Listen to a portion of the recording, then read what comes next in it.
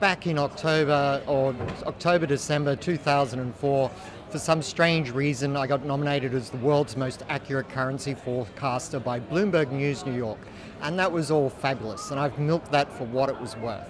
But my big clanger was that in the following three months, the first quarter of 2005, I had the worst trading quarter of my entire career.